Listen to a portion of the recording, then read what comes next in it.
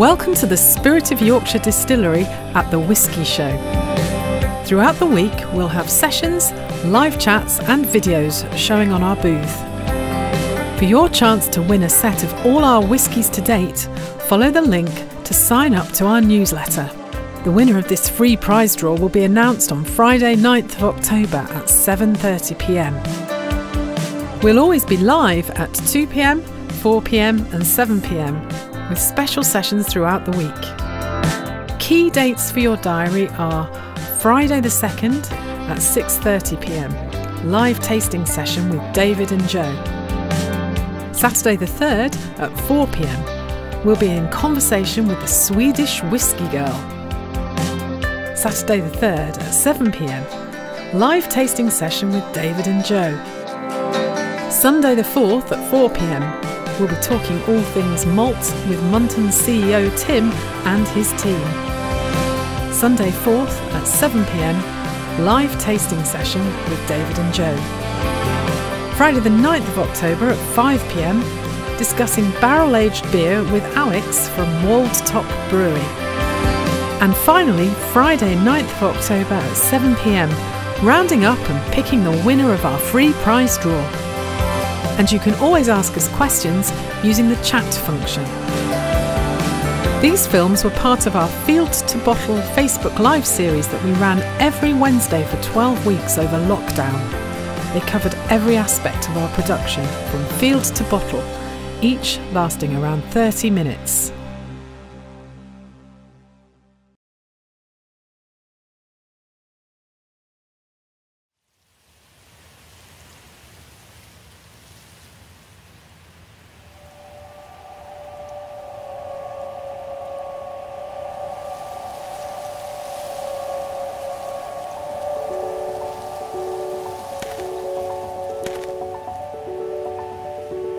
My grandfather bought the farm at the end of the Second World War um, and farmed it until the late 50s. My dad took over from him, farmed it till the mid 80s and I really have taken it over from that point.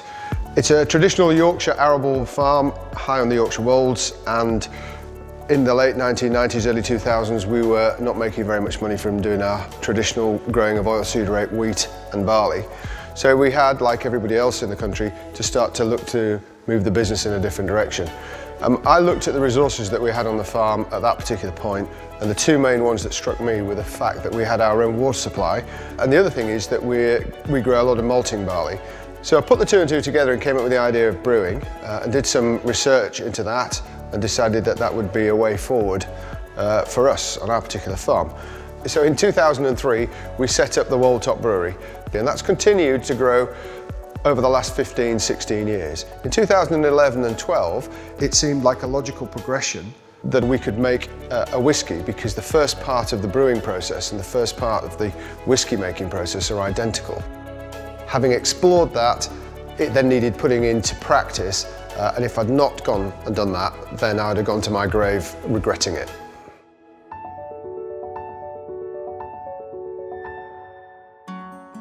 Tom and I have been friends for many years. Uh, we've played rugby together, uh, we've seen our families grow up together. So Tom approached me uh, with an idea of making Yorkshire's first single malt whisky. I thought it was a fantastic idea and couldn't wait to uh, get involved with him. So we looked into the production of whisky around the country and uh, it was evidence that it had never been made in Yorkshire before, which is very unusual as we have some of the best malting barley growing land in the area and uh, it just made absolute sense to use the resources local to us to produce something completely unique. The next step for us really was to develop a brand behind uh, the story and as we are based only 10 minutes down the road from the biggest gannet colony in the UK we felt we wanted to use the gannet as our mascot as it represents a lot that we're doing at the business. It's very tenacious, it's very graceful and it's full of spirit so we felt that represented us very well. The Yorkshire Wolds is a great area for growing malting barley. Um, it's got thin calcareous soils uh, which barley likes. It doesn't, it, barley does not like big heavy land. Uh, we also have a fantastic water supply as well which comes from the chalk aquifers under the farm. The farm doesn't actually have mains water And the one thing about this water is that it's very, very consistent, which is one of the reasons why we think our beer has been so consistent over the last 18 years.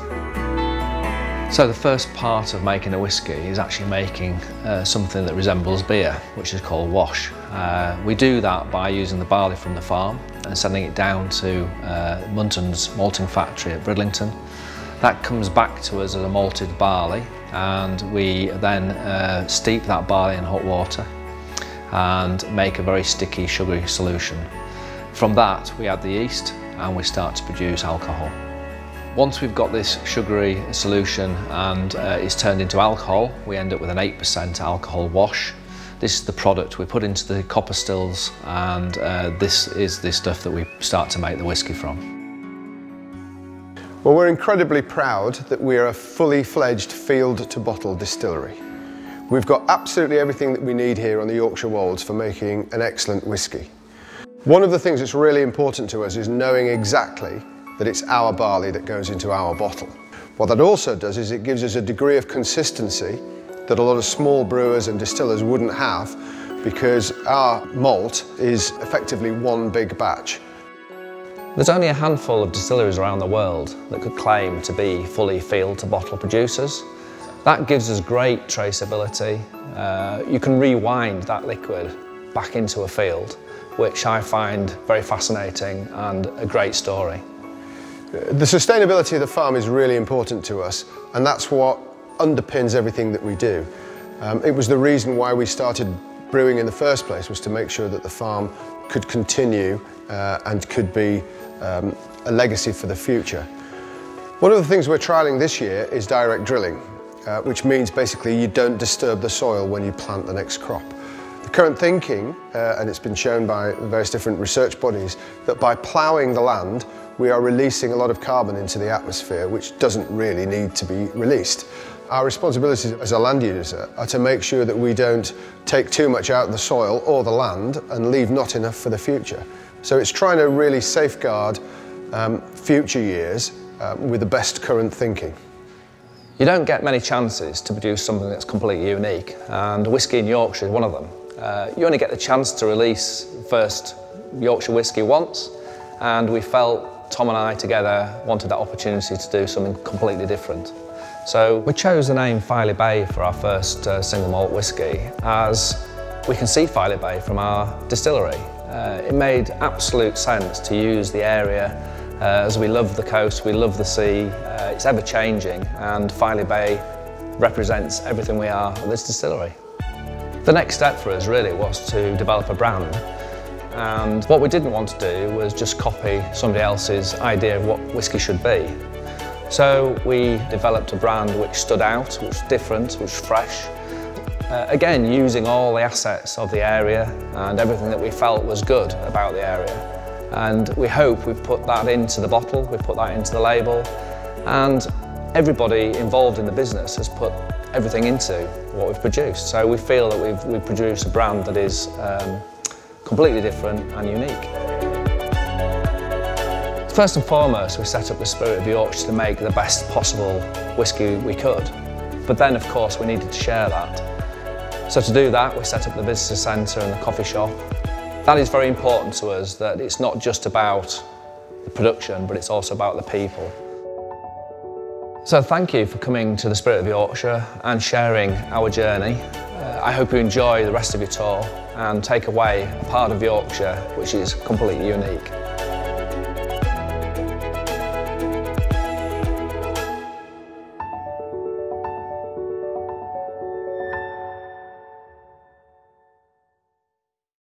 Hi, Jenny, you all right? Yeah, not so bad, thank you. Not so bad. How's your day down at the distillery been?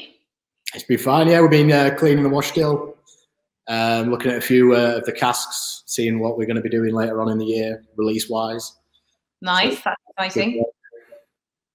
Yeah, that's good. And um, how was the cask delivery earlier this week?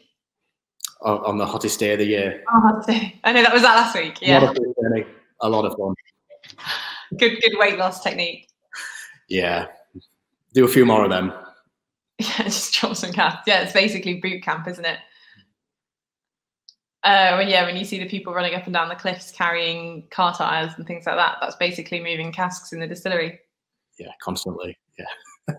210. Yeah. 210. I didn't realize it was that many. Nice. Yeah, it's 210 on a container. Cool. Right. Well, we've got a few people. Uh, just I can see some eyeballs coming on.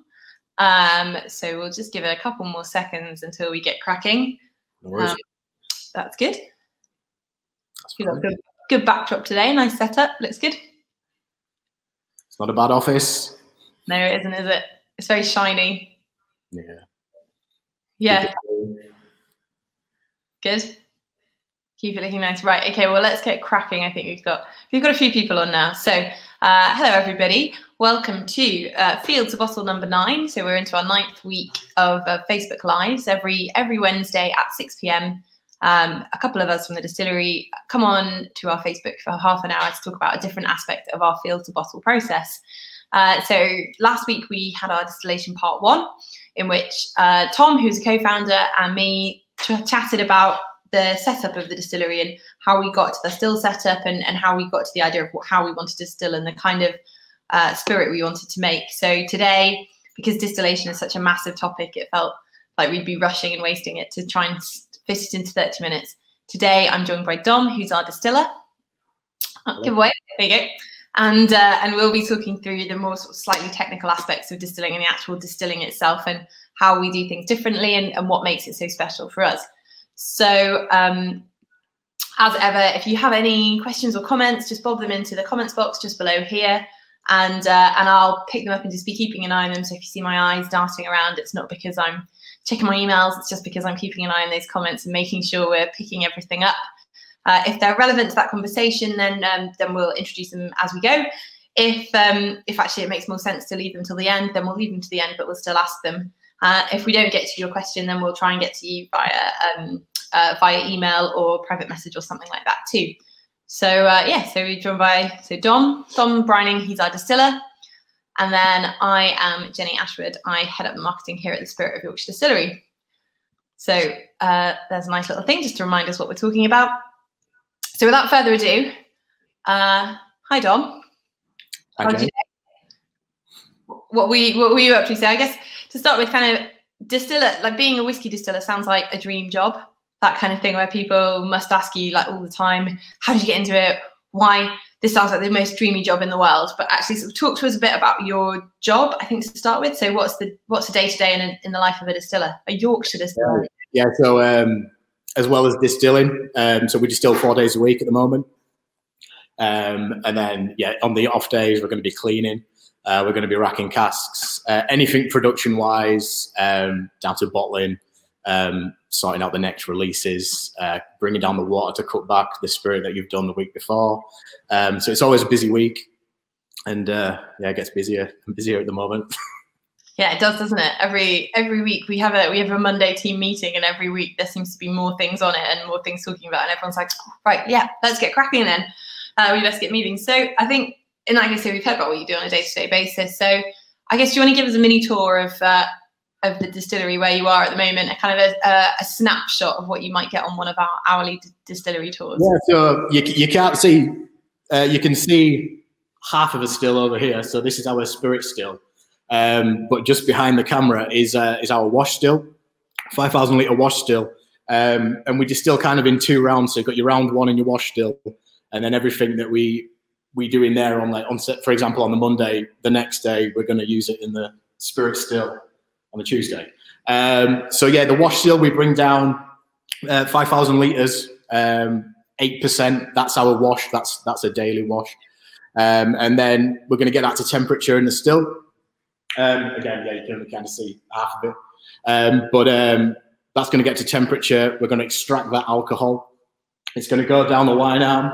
Uh, you can't see the lyne arm, but basically a lyne arm kind of connects uh, to a condenser. That's going to, hot vapor is going to meet a cool condenser.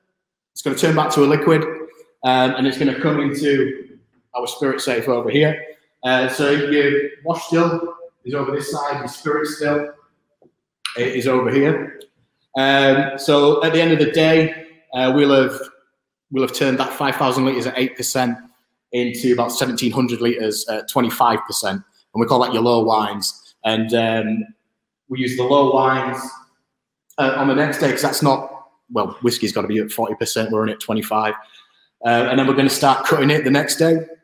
Uh, so this side, so the same process, um, except for half of the year, uh, we use our column, which is just over here. Um, you'll have seen column stills in other distilleries if you've visited them before, uh, gin distilleries, um, grain whiskey, um, but um, a little bit different how we use it here. So, um, seeing if you can see it. So we've got a couple of uh, levers just at the top. So we actually divert vapor into the column and create a loop between two stills. Okay, um, the column is going to give us a lighter, uh, fruitier spirit, uh, higher ABV. On a standard run, on your, on your standard pot still, um, we'll be taking about 75%. Uh, on the column, we're going to be looking at high 80s. Um, and I'm just going to jump in there, Dom. Why why is that? Why does the column give us a higher ABV? Think, think of the column like a big purifier. Um, I think you're gonna you're gonna show a video later on maybe. Um, but inside here, we've got four copper plates uh, with holes in. So basically, that vapor is going to work through the extra copper contacts. And we always say, I think one of the questions was um, why copper? Um, copper's a great reactive surface, and it's going to kind of, if you look under a microscope, for instance, a simple way of putting it, kind of like a Brillo pad, and um, it's going to kind of get rid of some of those heavier uh, sulfur compounds. We're looking for all those light, fruity flavors, really. Um, so the more copper contact, the lighter, uh, fruitier spirit, really. Um, they're the two kind of different ways that we do it half of the year. Um, but the main part of it, your bread and butter, we have three cooks or three stages, if you want, of the distillation process. So you've got your, your heads, heart, your tails, or your, your foreshots, middle cut, uh, your feints, uh, whatever terminology you prefer. Uh, so your foreshots on a morning, we're going to run that for about 10, 15 minutes of the process, and that's really to get rid of any unwanted flavors, um, aromas of the of the previous, of the back end of the previous run. Um, and we don't use any automation here. Everything is is manual, so we'll be nosing and we'll be tasting. Uh, once we're happy that we've kind of got to a point where we're happy to cut, uh, we, we flick over to a different tank, and that's going to be our middle cut, and, and that's that's the liquid spirit that's going to be going into our spirit receiving vessel at the end of the week, and then eventually into casks. Okay, so just again quickly, just to interrupt. So how do you how do you know? It's not automated. There's no kind of like green light that suddenly clicks on when you get to the right bit. So how do you? A lot of you are. Well, I've, I've done a fair few distillations now, and yeah, learning from the guys here, who they did it. For, Tom and Dave did it for a year before I even started here. So um, when you're around it every day, you kind of pick up what exactly what we're looking for uh, to go into our our spirit style, if you want. But yeah, light and fruity, they're words that we say a lot in this distillery on tours, and yeah, in their tasting notes if you want as well. Yeah, so it just sort of becomes second nature that that's how you know. Yeah, exactly. You just start to get that that's just that's that's right. As with any cooking, I guess you just start to be able to instinctively pick up. on Yeah, it's um, when you remember first starting out and you'll be doing it so many times, and then all of a sudden you just kind of know. But yeah, we it's usually you're looking between ten and fifteen minutes. Um, you'll be getting your nose on it. Uh, ten minutes into the foreshots, and then yeah, but it's different every day. It could be twelve minutes, could- it could be fifteen minutes. It's it's just finding that point that where you're happy to uh, get that middle cut into the into the vessel into the ISR, the intermediate spirit. So Okay, cool. So then, and then after that, then what happens after that? Yeah, so that's going to go at the end of the week. So four distillations. That's all going to go into. Can you see that? Tank? Yeah, that tank just there. That's our spirit receiving vessel. Um, so when we're not running the column, that's going to be yeah roughly seventy five percent. And we're going to bring water down from the farm, and we cut that back to sixty three point five percent, and that's our cask strength. And, um, and yeah, we, we fill the casks. But yeah, between 12, 13, 14 casks a week at the moment. Nice, and then there and there are all sorts of different casks. So uh, primarily we fill bourbon casks, but there'll be all sorts of other ones as well thrown in there. Just Yeah, 90%, roughly ninety percent bourbon, but yeah, there's that many different sherry casks now and uh, red wine and uh, it's it's always fun when Joe comes down from the warehouse with different uh, samples and see where they're all at. Especially now when we've been distilling for four years and kind of seeing from since when I started and we were, I think that our very first tolls were it was an eight month spirit, some of it that people were trying and enjoying. So yeah, yeah, it's completely different now. Totally different now. So we've got a first question that's come in, um, and that is, what would make an automated system change change it to the middle cut? So if you were using an automated system, I mean, this is a bit tricky if we don't use a it. lot of computers. There'll be set set times, set temperatures if you want. Um, but this is it. When I, when I say it can come in at different times, it can come in early, it can come in late. We're, we're small enough distillery and, and, and set up if you want to these little efforts. Everything as well. Being an English whiskey distillery, it's it's a very niche market anyway, isn't it? And every, every, anything we can do is is flavor driven, and if we can make it taste the best it can, then we're going to do it every day. Good. Yeah. Yeah. Okay. So so it's gone into the casks now. So um, one of the questions that was sent in advance to us um, for this. Um, oh, hang on. Actually, wait. We've got another question that's just come in, and that's which is really interesting. Uh, so this one is from David Walker. So having grown up in Hunmanby, so well done. Another Hunmanby local. We, we like those. Uh, I know how hard the water is. How does that affect the end result? And does distillation take it out? Um, so interestingly, with that one, I'm going to jump in a bit too. Yeah. Which is that um, actually one of the interesting things about the farm. So if you know Hunmanby, we're actually not. We're technically on the boundary of Hunmanby. It's a very boring niche county boundaries thing, but we're so on the border that the, it a runs through the farm and b we have a, we have a Hunmanby phone number and a Driffield postcode. So we we sit between East Yorkshire and North Yorkshire. Um, so we're on the way out to Wold Newton, right on the edge of the farm was originally part of the Hunmanby estate, but pretty much like the furthest edges of it, which is hence why it's called Hunmanby Grange, which is the farm. Anyway, this is a slight diversion, but what we do have on the farm is we're totally supplied by our own water supply. There's no no mains water here. So the first borehole was sunk in, I think, 1937.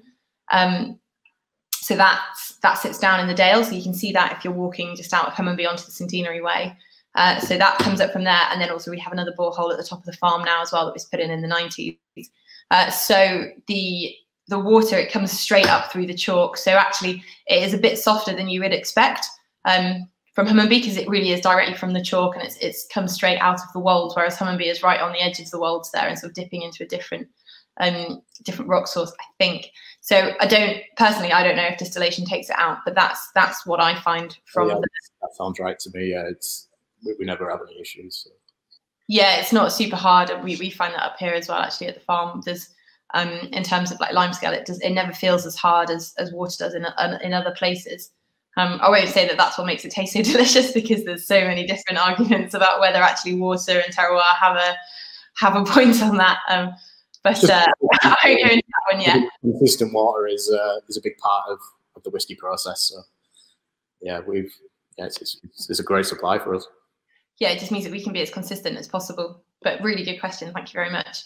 Um, so where I was going to ask just before that is um, is about distilling on cold days versus hot days. So as you said last week, absolutely boiling, roasting hot. This week, everyone's had the heating back on, and suddenly no one's in shorts. Everyone's in uh, trainers and socks and and fleece and jumpers. On last week. Let's uh, yeah, a bit different.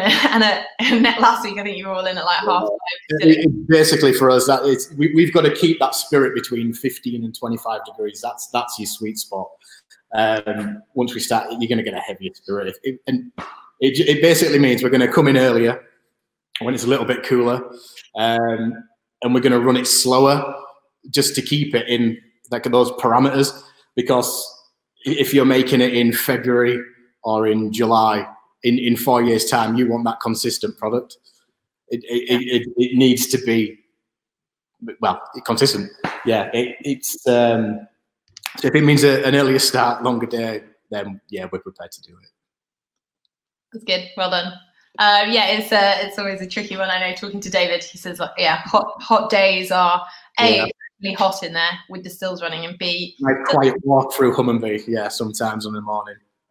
yeah, I bet actually, yeah, no one else is around, especially not at the moment. Um, so actually, uh, one of the other questions we are going to ask is about distilling using the column still, but actually you've talked about that. So 50% of, well, 50% of the yeah. time, half the so, year column still. Half the year. Uh, we're running it right now. Uh, we've been running it since mid-February. Um, we'll be swapping back, yeah, roughly mid-August. Um, but to kind of give you a little, a bit more into it, um, just having that, those options in the warehouse of different spirits in in the cask with the column, it's gonna it's gonna work a little bit faster. Um, but um, uh, give you a little example of the if you've tried any of the distillery projects. Uh, so uh, 001 was 60% from the pot, 40% column.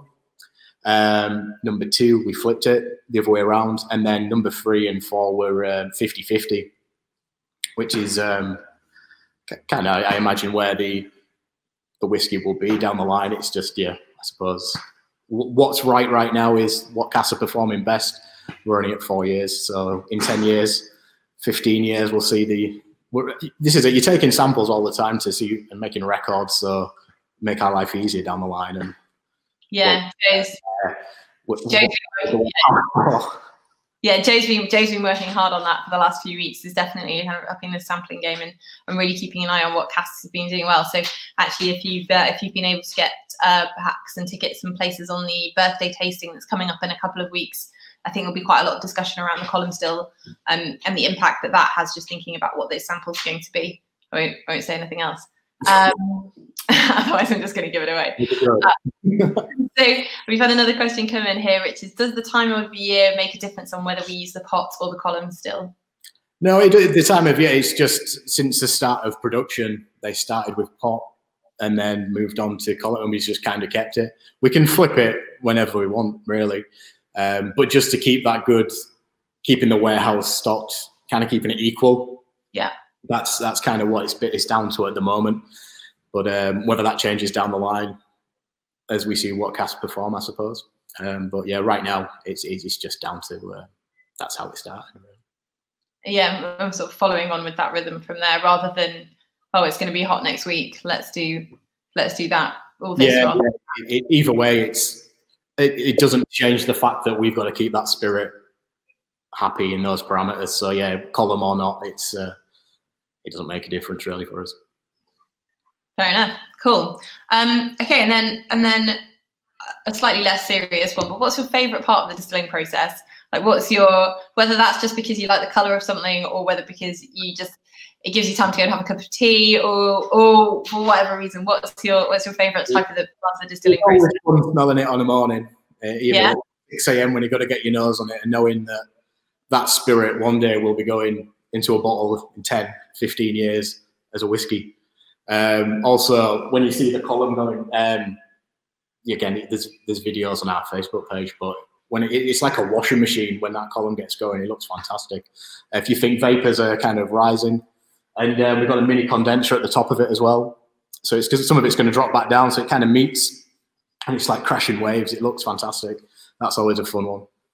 That's good. Yeah, I like the spirit safe just because it's really pretty. That's my favorite thing to look at. I think it just looks really nice with all the way the color, the copper's gone, and it's all blue and coppery, and it's just really nice to look at. And I like watching it through. I think it's quite mesmerizing when you stand in front of the spirit safe when it's running, let alone when you're actually monitoring it for anything useful. Um, okay, so we've got another question that came in, which is when will you be sending the packs for the tasting session? Uh, I'll answer that. Uh, they'll be going out at some point next week yeah, next week. So that'll be the week before the, the session starts. So they'll be um, they'll be coming to your postbox. You so we're just busy putting all of those together at the moment. Uh, so I think that's kind of the end of my questions that I was going to ask about this. So, so Dom, is it sorry? Is there anything else that you would like to just add in that you don't think we've covered off properly? Um, I, I, can go deep into it. I, I tried to do a very condensed version of the tour. Um, but yeah, we, we can go back onto the cuts if you want, because that is. yeah, actually, that would be good. Why don't you talk a bit more about the cuts and what you're looking yeah, for and, and, how you decide? Yeah, so when we're getting the nose on it, like I said, 10, 15 minutes, you're finding all of us, it can, it can change very, very quickly. And it is, it's, it's not very technical. You literally will just knock it straight over into a different tank, but it's yeah, split second and then we're just kind of recording um, temperature, ABV, um, and then we're going to monitor that usually, I, it's roughly about an hour and a half that middle cut's going to run. Um, again, depending on the weather, that plays a big part. Uh, at the moment, maybe a little bit longer, um, but as, as long as that spirit's coming out smelling fantastic, then we're happy. Um, but yeah, the column at the moment, yeah, you're looking at 87, 88%. Pretty strong stuff. But um, uh, as well, little things as well, I suppose. Um, uh, when when the wash still gets to temperature, um, it smells fantastic in here. Um, you're getting a lot of banana bread, a lot of pineapple. Um, when people are walking in, we don't currently have the cafe, but when the girls are walking in and, and saying, "Oh, that smells good today," and you'll get different. Some days you'll just get random aromas that you've never really smelt before on the on the middle cut, and it's just really interesting. Or one day you'll get some herb that you've you've just kind of pulled out of nowhere ten minutes into the foreshot, and um, so it's always a little bit different every day. That's good. That sounds nice. Okay, we've had another question come in, which is, could you use the stills the other way around to get a different spirit style? What, as in the use the wash still and the spirit still? Uh, we would have to have a right good clean. I think so. Yeah. Yeah. Um, so to kind of put it into perspective for you, at the the end of the day, the wash still will get a good clean. Um, the spirit still, um, that's got our that's our character of our spirit is in there. Um, that's that's probably going to get a clean maybe maybe once a year, I suppose. Um, so yeah, we don't really want to be touching that every day. Um, but yeah, you wash still. You, you want all that copper con- clean copper contact. So we that gets a good clean every day, and then today it got an even even more of a proper clean because we're not distilling. So yeah, especially in hot weather, um, you want to make sure that everything is running efficiently. Okay, good. All right, another very good question that's just come in now. I feel like this is Joe question. Uh, does a night out at the pub the previous night impact your view on the cut point the following morning? Well, I have young children, so I don't get to the pub anymore. I was going to say, I think you and me are both nine o'clock time, aren't we, at the moment? But, uh, yeah, you, not if you're coming in early. You won't be, uh, you won't be going to any pubs. But yeah, um, because yeah, it's very strong alcohol to be smelled. If you're not used to it, it's it's pretty strong on the nose at, uh, at half eight in the morning. If it's if it's clocking up near ninety percent, but um, we don't have to taste it every day. You can get a lot from the nose, and um, that again practice on that. But um, yeah, I know I know Alex and Tom at the at the brewery both say that that checking beers when you can still taste toothpaste is a funny old is a funny old feeling, and it just it just seems very strange and a bit um, a bit a bit uh, naughty. Yeah. Um, okay, well, so no more questions coming in at the moment. So what we'll do is actually this distiller this uh, this topic for this week's um, uh, Field to Bottle really tied in very neatly with an announcement we made last night, which is that we are now in a position where we can resume our tours again. So as of the 13th of July, we're really pleased to say that we're able to welcome uh, you guys and anyone back to the distillery again to to take part in our hourly tours. So, oh, sorry, hour hour long tours. They're not hourly. Um, but we've had to change a few things around a bit naturally to fit with the relevant guidelines and just to make sure that we're doing things as safely as we possibly can and not putting anyone at risk. So um, if you are interested in tours, have a look at our the tour booking page on the website. That's got the full list of requirements and, and what we're doing and what we're implementing, and um, also a bit of what we expect from customers coming to the distillery as well. Uh, but in a nutshell, we're running two tours every day now instead of three. So those tours are now 11 and 1. We're doing them seven days a week still. They still last an hour. You still get the full tour experience. You get the film at the beginning explaining how we got there. Uh, you get a full tour of the distillery with Dom or one of our other team members taking you through it. And at the end, you get a tasting session with three different uh, samples, and you also get your nosing glass to take home. Uh, but uh, the kind of the technicalities and the specifics of how you do the tour have had to obviously adapt. Um, so uh, I've just got an excellent comment, a question that's just come in. I, I think this might have come from David, which is, do you know more than Joe? Does anyone know more than Joe? I don't think they do. I don't think it's possible. No comment. Excellent. Now, now the test will be as if Joe's watching this as to whether we both get a text in a minute saying something along the lines of "absolutely not." Um, anyway, back to back to what we were talking about with the tours.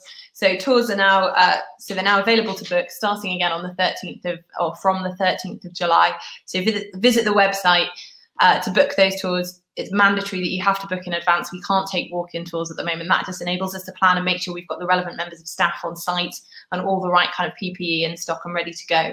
Um, if you have tours that have had to be postponed, that you maybe had booked for March or April or May or June, and you've postponed them uh, and you'd like to start rescheduling those, just give us a call on 01723 891 758 during working hours, uh, opening hours, which are 10 to 4, Monday to Friday.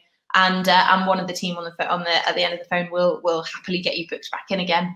Likewise, if you have one of our complimentary gift vouchers that we've been uh, giving away with um, two or more bottles of whiskey sales on the website, then give us a call and we'll be able to get you booked in on those too. So, really exciting news. The, the downside is that the coffee shop still isn't open, we're afraid. Um, so no no coffees or cakes or fry ups because we're trying to just do things in a phased approach, making sure that we're doing things as carefully and as safely as possible. And essentially, we don't want to bite off more than we can chew and end up having to close down or causing problems or making anyone uncomfortable. So we'll be opening the coffee shop once we've kind of got into the swing of things with the tours and we're feeling much more comfortable about that. And also, we've got a couple more things in place as well. Um, then, oh, then the other thing is the classic thing of just sign up to the newsletter because we've got some really exciting announcements coming out in the next couple of weeks and we wouldn't want anyone to miss out. Uh, if there's any more questions coming in, I don't think there are, but we'll give it a couple more seconds to see if any more questions are coming in. Dom's standing there ready and waiting. Look, he's so desperate to answer things. Um, and if there's nothing that comes in, then we'll probably say uh, we'll probably say good night. So thank you very much, Dom. That was great. Any last words? Hopefully, see you all soon. Yeah, yeah. it'd be really nice to. We're all looking forward to seeing new faces again, definitely. Yeah, definitely. And having some Filey Bay fruitcake too. I'm really looking forward to that. Definitely. Go through the window as I'm distilling. yeah. Or someone just brings you a plate of something when they're feeling kind. Um, okay, I think with that, no more questions. So to that end, we'll say uh, good night. Have a lovely Wednesday evening, and we'll see you at the same time next week. Bye bye. Cheers, guys. Hi, Joe. How are you doing? Good evening, Jenny. I'm good, thank you. How are you getting on? Yeah, not bad, thank you. Not bad. What have you been up to today in your um, tasting living room of dreams? Yeah, so uh, today has been um, some tasting work and some tasting note work, um, but it's been it's been focused in on other other areas today. Yeah, I got a barrage of emails from you at one point today, and I was like, Joe is on it on the admin side today. Oh yes, there has to be, be, an admin day every now and again, and that was today. So it wasn't. I, I, it certainly wasn't the most exciting day for, um, but on the whiskey side of stuff, you know. Yeah, but productive, which is what happens to happen anyway. Uh, okay. So we've got a few people who are joining us. Hello. We've got one comment already. Hi, Paul. How are you doing? Uh, so thanks very much for joining us. We're really sorry we had to postpone last week. Something came up right at the last minute, and just uh, it was just not practical to try and to try and squeeze everything in. We would have done this very badly. So we thought the best thing to do was to postpone it to this week and give it our full attention and do it all properly. So, hello. Today is uh, field to bottle number ten. We're on, so we're into our tenth week of doing it. Uh, and and sadly, it's also going to be our penultimate session of uh, Field to Bottle Facebook Lives, just because we've been talking through the process from field to bottle. Now we've basically reached the bottle, so we're, we're at the end. So this week we'll be talking about the bottle, uh, our bottling process, why we do it ourselves in the distillery, uh, and we'll also be doing a tasting session of second release, which Joe's already stepping ahead on there, as you can see. And um, uh, and then next week, which will be our last session, we'll be have it. we'll be talking through our two finished whiskies. So our Filey Bay Muscatel finish, which came out in March, and our Filey Bay STR finish, which we announced the launch of last weekend. And um, we announced the launch of last weekend, and uh, we'll be uh, dispatching orders for um, kind of late July, early August. So hello to everyone who said hello. Hi Amanda, hope you're doing well. Appreciate my new haircut. That's good. It's the sign of post lockdown is that everybody suddenly got their haircuts and is looking much smarter and a bit more kempt. Um, how about you, Joe? You had your haircut yet? Yeah, I did. Yeah, I actually got it done in time for last week's field to bottle. Um, oh. You know, so for you. I'm sorry.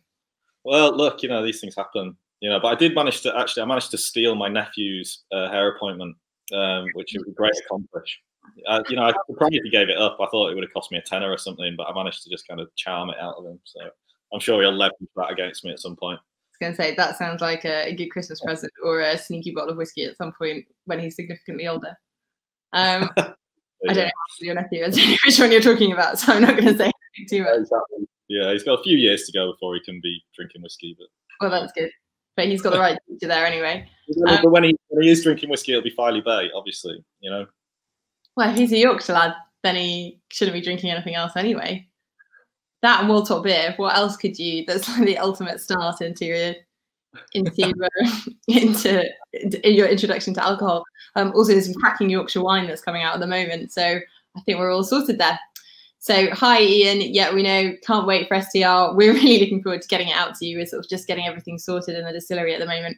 We're going to be bottling that very shortly. In fact, very soon in the next few days. Uh, and then and then we'll be able to get it all packed up and, and out out to um, everyone who's waiting so patiently. So thank you very much. So we've got a few people that have joined us now. So we'll, we'll actually get cracking on it properly rather than me and Joe just going off on a tangent. Um, so hello everybody, welcome to Field to Bottle number 10. Today we're going to be talking about the bottle, our bottling process and our second release uh, whiskey as well, which came out in November last year, 2019, which is still less than a year ago, which I do find strange to think about, Joe. I don't know if you. It, yeah, it's quite weird. It kind of it kind of feels longer. Um, yeah. Because we've been so so kind of flat out, really, last kind of few months. Um, but yeah, kind of a lot's happened since then. Yeah, hasn't it? I mean, just so much, and uh, yeah, it's been really really exciting. So actually, there's there's lots of stuff we've got in the plan for the next uh, the next few weeks. So if you're on our newsletter subscriber list, um, or you're a cask owner, you'll have literally just received in your inboxes uh, our latest newsletters. Um, and they'll be telling you that there's something very special coming at the end of July. So, and giving you specific dates in which to watch your inbox. So, uh, so do keep an eye out for that. Uh, we can't have our open day this year for obvious reasons, but we have been working on things to make that a little less disappointing. So we've got other stuff coming out there, but more on that coming on our Facebook posts uh, over the next coming days. Uh, so I am Jenny. I head up the marketing here at the Spirit of Yorkshire Distillery. And uh, this is Joe. Joe, what do you do? Um, so I make sure whiskey tastes good. That's that's a big part of it, um, amongst other things, of course. Speeding um, in your van. Yeah, exactly. Yeah. yeah, you know, seeing customers, making sure that you know we're getting out there, that kind of thing. Yeah. Yeah, Joe's the man with the most incredible cask filled spreadsheet. So he's the one that knows everything that's going on in the warehouse. It's very exciting when you look at it. It's all color coded and very beautifully done. Um, so we'll we'll start. We'll get started. So um, uh, so we. Uh, sorry, I'm just getting getting distracted by the comments. You'd think I've done this enough by now, but I still get distracted by looking at them. Anyway, I need to get focused. Sorry, we're being very distracted today. So firstly, we're going to talk about the bottle itself, why we made the bottle. I know we touched on this in our first release um, broadcast that we did a few weeks ago, but it's sort of worth talking about again. It's quite it's, it's been done for a very specific reason. Uh, and then um, we're going to be talking about bottling on site and why we bottle. And then lastly, we'll be going through and Joe will be doing a mini tasting session of our Filey Bay second release. So first things first, Joe, talk to us about the bespoke bottle. Why why bespoke bottle? Obviously, we did uh, distillery projects were done in a in a fairly standard shaped bottle, but for first, second, and ensuing releases, we have this very special bottle. Why why did we go for a bespoke one? Yeah, so I suppose you can you can sum that up in in the fact that we just wanted to do do this whiskey justice, and you know from, day one, you know we wanted to get get our own bottle and get a mold done for us um, which isn't you know it's something a lot of distilleries wouldn't do. It's a it's, it's you know it's a kind of it's a big undertaking, um, and you know it's a really expensive piece of work to, to undertake. You know, especially when you're kind of pre whiskey. Um, but we wanted to do it. I think I think if you want a kind of one main reason for this, um, you know, we, we we could only launch Yorkshire's first whiskey once, and you know it was really important to us that it, that it looked the part.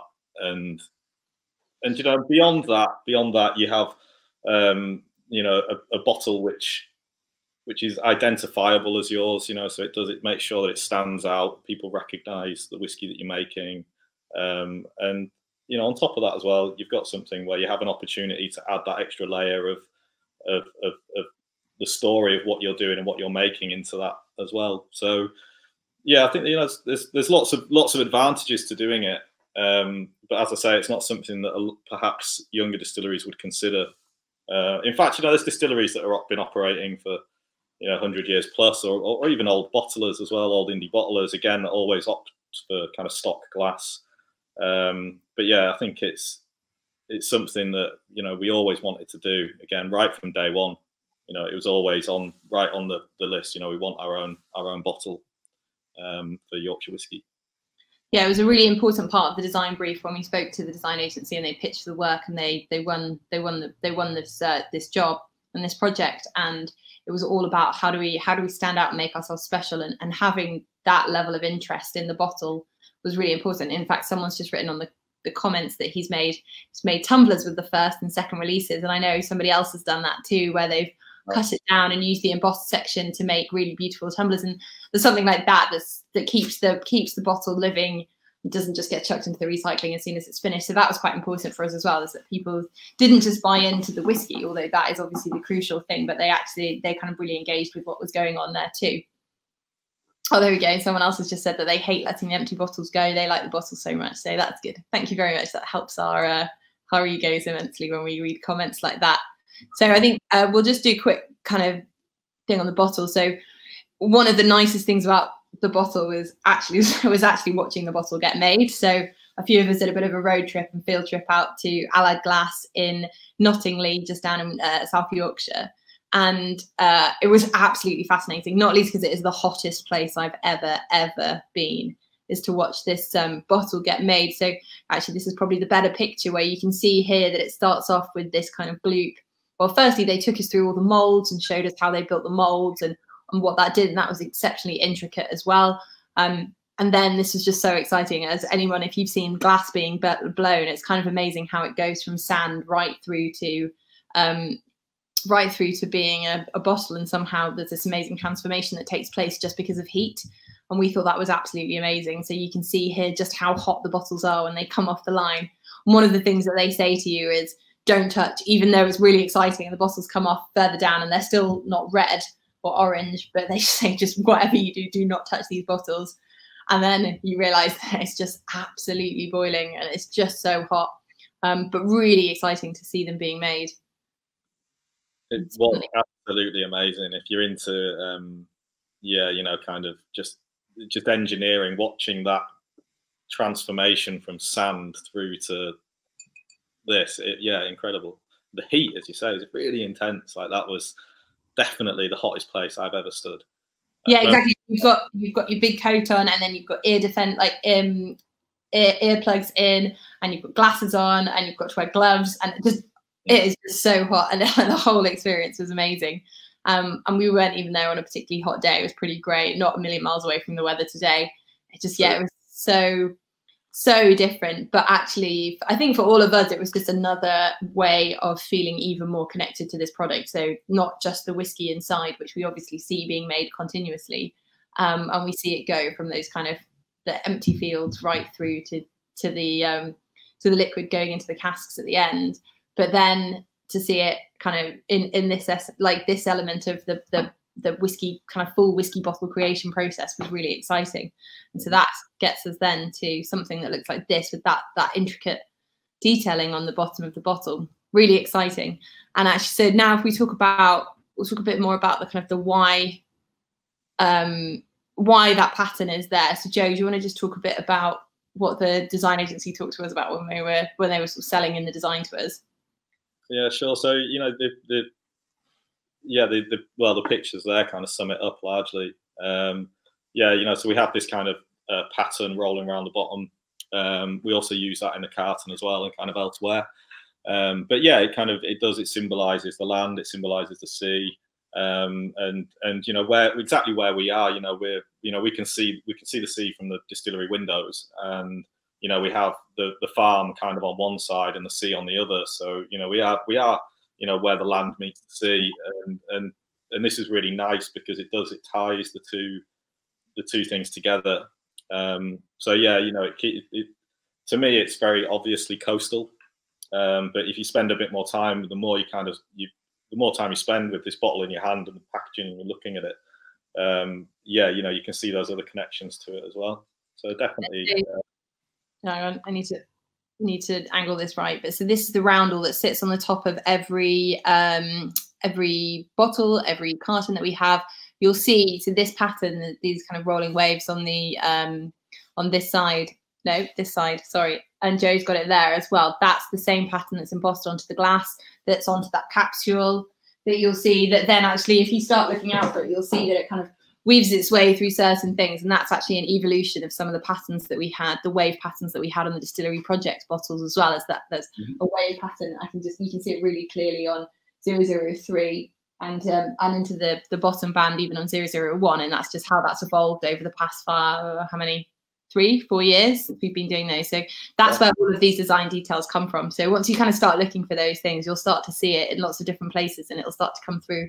And on some of the some of the future releases that we're going to have, you'll start to see that coming through more prominently as well. Um, that's nice. Liz, uh, Livy, who's one of our tour guides, just said that she likes that little logo. Thanks, Livy. That's good. Uh, so we'll actually that's a good reminder that we'll we'll be talking about our tours which have resumed later on in this uh, session. Anyway, so so that's kind of talking about the bespoke bottle and the details on the bottle itself. So now if we kind of go away from like what the bottle actually looks like to to the filling of the bottle. So one of the things that we talk about is is being field to bottle. So we're in control of pretty much every aspect that we can be. The only the only aspect of the whiskey making process that we outsource at all is the malting, but as you'll have seen in our previous Field to Bottle episode about malting, we still have a really high level of control on that because we have such a strong relationship with Muntons. They're so close and they're such a world-class uh, maltsters that it makes sense to use them on our doorstep. So, Joe, talk to us about bottling on site. Why why is it important that we do that ourselves? Sure. So for, for us, it's, it's you know it closes the loop. It just seemed a little bit crazy. You know, we've gone through um, all the steps right from grassroots. You know, um, on the farm growing the barley to to get to get our whiskey together and to get a batch of it together and then outsource that final step. Um, you know, for us, just didn't make sense at all. You know, uh, it, it doing it ourselves, it's it's a lot of work. You know, it's a lot of extra work. It takes a lot of time, um, and you know, it's it's it's a busy, busy period to do it. But the advantages of doing it for for, for us, um, you know, largely is a, is control. You know, so we're not relying on another company to do it for for us. You're not relying to drop into a production schedule at a bottling plant. Um, you know, you're not having to send you know whiskey that's been you know completely made in this county and sending this to be bottled in a different county or or, or even into a different country. You know, you're doing everything um, within within this kind of the walls of the distillery and you know, I think for us, it, you know, it's not just about it's not just about the practical considerations because there are practical advantages to doing it. You know, you you because you have that control element, you don't have to worry about, you know, you're not kind of handing over this kind of precious thing that you've been working on for four years to another company to put into a bottle for you. Um, not you know, some very very good bottling companies out there. Obviously, they're very very good at what they do. Um, but yeah, the practicalities of being in that extra step of control is really good. Um, and yeah, on top of that, I think actually the the ethos and just the just the simple production principle of being field to bottle and having that autonomy is, is brilliant. And it does mean as well when we do smaller uh, runs, you know, it gives us more flexibility. You know, we can we can set up our bottling line um, and do something quite, you know, do a smaller bottling run, you know, and react much quicker to something like that than a distillery that doesn't have a bottling line. Um, yeah. So there's a lot of perks, a lot of pros to it. Uh, that said, the negatives of it is is that it's a lot of work and it's a lot of effort and it requires a lot of hands and uh, and it's it's it's busy and it's tiring. it is, uh, yeah, it is. And actually, to be fair, I've actually not really done any which is the best thing. I've managed to get away from that, but I definitely did my fair share of early days Wold-Top Brewery bottling when, yeah. You, you can't. You, you, I was going to mention this, and one part again, which is significant here, is that you know, in terms of Tom's experience, particularly, you know, having um, having set up bottling lines with the brewery, you know, again, for from for the point of view of us to not do it ourselves would have seemed really, um, really crazy, to be honest, given the experience that we've got as well. Yeah, the ideal would have been if we could, because the brewery has such a fantastic setup with the bottling line there and does contract bottling for other breweries as well. The ideal would have been as if we could have basically put a whiskey add-on onto um, onto that and could have utilized that system. But sadly, uh, the two things couldn't quite merge, which is, as uh, Tom will say, is very disappointing from a financial point of view because he's always looking for ways to make everything pay for itself in multiples. Um, so yeah, what's interesting is thinking about back to how the brewery started, where we were bottling by hand using bottle tops that used like um, almost like hand pulls that you put on, and then you you wipe them down, put them through a, very weird contraption that we had with a, a, fan heater on top to try and dry them off before we put the labels on. We're like we're much more sophisticated than that at the distillery, and you can really see. But it's still a labour of love, and it still requires multiple members of the team coming and doing it. And so there's quite an amazing camaraderie that comes through. Uh, there's quite an amazing camaraderie that comes through when we're um, when we're doing when the bottling is actually happening. Uh, so we had a couple of comments here from some friends of the distillery. Say smaller bottling runs, any single cask bottling runs planned. Well, for smaller bottling runs, Jeff, read your emails, and uh, there might be something exciting coming later on this month. I can't promise about single casks though, but but we've got lots of exciting stuff in the uh, in the pipeline. Um, and uh, Paul was asking about cask number one four six that's uh no, that's just a, a great cask that we've uh, we've taken a few sneaks out of for the um, for the tasting session coming up soon. Mm-hmm. Uh, so, in fact, actually, I'm just going to pause there. We had a question that came through about gin, and when you were talking, Joe, about the ethos about being in control of production and doing everything ourselves, right from field to bottle, actually, that links neatly in, into into the question about gin. So, Alison Parker asked. Um, about 10 minutes ago, why do you do gin? And uh, the answer is no. And I'm, sorry for those who've watched all of these because you know you'll have heard this uh, spiel a couple of times before. But Joe, do you want to just give a quick outline as to why we decided we made that decision not to not to make gin and just to focus solely on the whiskey? I think I think you've kind of you've almost answered it just there because you know for us we're we're able to focus on this and only this and making this as best as we possibly can um, and if you have an, another another kind of project running alongside it, um, best will in the world, you know, especially with gin, it would have taken you know a lot of extra time, a lot, a lot, a lot of extra effort, and you know, there's I suppose there's a few reasons beyond that. You know, the, the general production principle of white spirits isn't really kind of a field to bottle principle. It's not to say you can't do it field to bottle, but um, you know, in the most part, if you're looking at kind of gin production or how you want to make gin, it's a case of um, starting with a neutral base spirit. So you've either got to make that neutral base spirit, which requires um, yeah, kind of sophisticated distilling equipment and a lot of time and energy, or you can buy that spirit in and then do the, the other bits, um, like rectify it and add your flavor profile to it and that kind of thing. Um, so, so for us, it didn't fit with the ethos. It didn't fit with the field to bottle principle for us. We would have had to have invested in more kits, more time, it's more energy. Um, and yeah, and then aside from that, I think, you know, I suppose I can ask you this question, Jenny. Do you think the world needs another gin right now? I mean, I'm slowly working my way through the entire selection that Yorkshire distilleries have to offer, and, uh, and they taste delicious. So I think, yeah, there is an argument to say that actually we it was a very crowded marketplace with yeah. some people doing it fantastically, um, and it and in order to have kind of lived up to our own philosophies to do it as well as we possibly could do and be one of the best, which would always be our ambition as it is with the whiskey, I think it would have taken so much time, effort, determination, and and people that we just didn't have the focus for that. We're still a small distillery. We're a really small team. Um, we'd have essentially needed to probably double our team in order to focus on the gin with the same enthusiasm and focus that we that we put into the whiskey. So those are all of those reasons as why we didn't we didn't go for doing gin. Um, but there are some some fantastic gins. I've been slowly working my way through a bottle of Cooper King's uh, kind of, sort of standard. Sounds like the wrong word, but I can't think what it's called. But they're their sort of flagship gin, and it is very delicious and very yeah, Very tasty indeed.